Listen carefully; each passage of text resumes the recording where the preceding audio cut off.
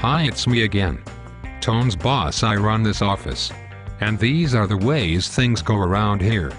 If you don't like it, you can leave. It's just the way things go around here. Tone works here.